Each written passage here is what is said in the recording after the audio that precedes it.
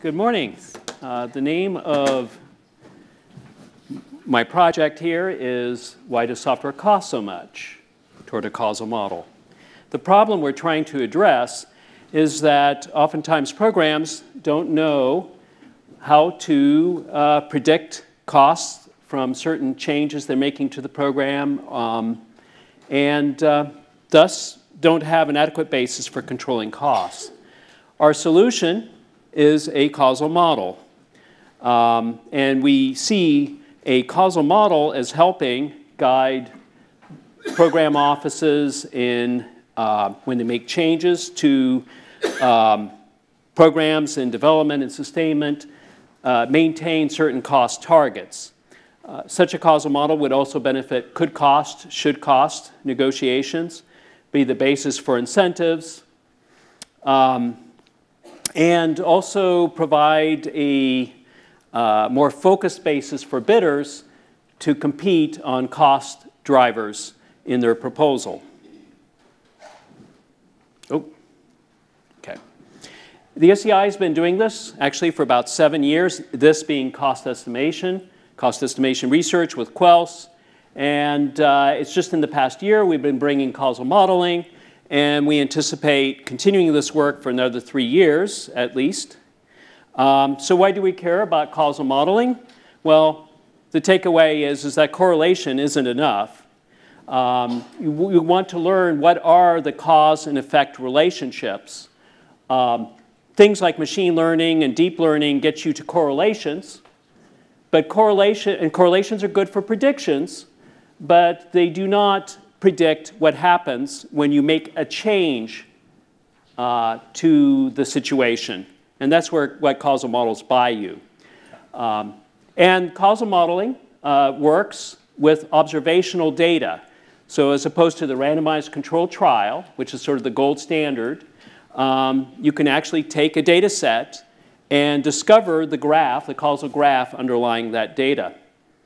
Uh, causal modeling is, and, and latent variables go back over a century, but it's really been in the past three decades that we have now uh, more than a couple dozen causal uh, discovery algorithms. And um, a lot of the researchers are here at Carnegie Mellon and the University of Pittsburgh.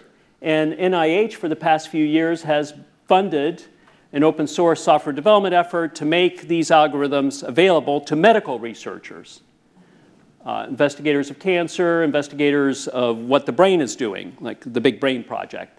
And so what we're doing is we're taking those algorithms and applying them to cost estimation data. We have a twofold methodology or approach. One's kind of local, tactical, and the other one's global strategic. I'll deal with the local tactical first. Uh, what you have is um, a data set. You're an individual researcher, cost estimation researcher. You have a data set. Uh, you can apply Tetrad, which is the name of a tool in which a couple dozen of these algorithms are bundled together, um, to learn a causal model, which is actually a directed acyclic graph, or DAG. And then you can estimate that model.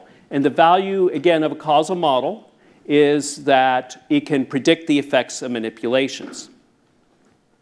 Uh, alternatively, you can run it in validation mode. That's the lower box there, formulate hypotheses. You can come in and say, this is how I think the world works. And then you can test a data set against that model for fit uh, and evaluate the model. From a strategic perspective, the landscape is different. We have lots of cost estimation tool vendors we have cost estimation researchers, such as at the University of Southern California, which is where Barry Boehm uh, has his group. And um, there are agreements that are signed that data is kind of off limits to the SEI. The good news from a strategic perspective is, is that there are algorithms for stitching together directed acyclic causal, causal graphs that come from different sources uh, without having to ha actually have your hands on the data set. And so what we plan strategically is to, and we've begun this uh, this year with the University of Southern California, is to teach how to do causal discovery have them applied to their data sets, which we never see, but then they report the DAGs to us, and then we stitch them together here into a full causal model. Um, as I already mentioned here in terms of key activities, University of Southern California connection, there's been um, at least one paper that's been submitted for publication using causal modeling. We believe it will be the first that will be published, perhaps if it's accepted. Um, and we've also been looking at some data sets. I will focus mostly on just one data set just to give you a flavor of what causal discovery looks like.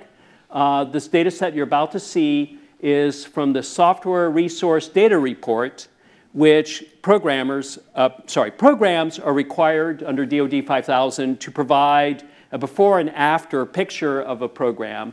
The before picture shown in gold are the estimates. So you'll see there things related to uh, requirements, architecture, coding, and testing. And in the blue, you'll see the second paired report from the same, uh, for the same program, and these are the actuals. So we took pairs of such data, 134, applied a rather conservative causal discovery uh, threshold to it, and uh, what you see here, and this remember, there's several years separating the estimates from the actuals, so this is actually kind of interesting to tease out. But in particular, if you see those vertical lines going down, that is showing there's a direct causal influence um, of the box on top and the box on the bottom. And for those of you who would prefer a more technical explanation, um, the relationship exists uh, conditioned on any subset of the remaining variables. And that's essentially what determines when there is an edge. Um, if we look at this from a different perspective, the variables in the center horizontally from left to right are mostly dealing with effort. And you'll notice there that requirements and code tend to drive, have, have more statistically significant causal effects on total effort than do time spent in architecture or time spent in integration and test. And I, I think if you think about that, I can tell you in the poster session later why, what I think about that, but I think that actually makes a lot of sense. But you also notice something curious. Um, oh, sorry, these are the requirements and, and code counts uh, that you see here. But what's curious is duration doesn't seem to have any causal connection to the rest of the graph, neither the uh, estimates nor the actuals. And also team experience. Now, this doesn't mean team experience is not important there's an alternative scenario here. Team experience might be perceived to be so important that program managers ensure it's done right, and so it does not become causally significant, which is a kind of caveat with any kind of learning you do. You need to know something about um, the source, the nature of the source from which you're getting the data, and this is no different. We've applied this to uh, this technology to other uh, data sets, uh, famously the uh, COCOMO 81 data set, where uh, 25 factors were looked at, um, and the only one that predicts cost is software size. The other factors correlate with cost, but what they instead do is through a chain, causal chain, they affect size, which affects cost. So um, so uh, we've had some presentations. I mentioned a submission for publication. Uh, to wrap things up, we think the opportunity is right for causal technology. We think we can bring science, data, good data science, and, and ground cost estimation, working with a community of collaborators um, on a more uh, scientific basis for cost estimation. I think I have a minute. for questions.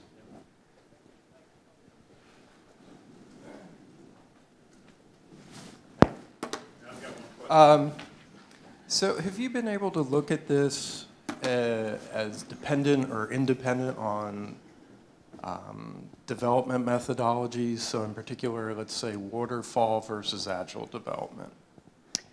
Uh, not yet. Uh, that is in our plans for the next three years. Um, so at this point, uh, we do have, in some of our data sets, I guess I should stand here.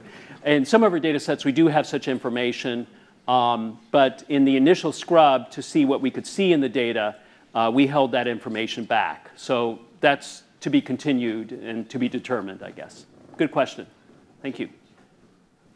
And I guess I'm out of time, or is there just room for one more Uh, This will be the last one, it'll be quick. Uh, About how long before you think you will have something that we, the, the DOD, can put into a contract, a levy on, uh, a potential offer to say they have done this and can give us an estimate? 137 days. Uh, Sorry. I'll hold you to that. No, um, excellent question. Um, And, and uh, if, if you're interested, sir, I'd be happy to talk to you about it uh, afterwards. I, I don't have a short answer to that. Uh, But thank you.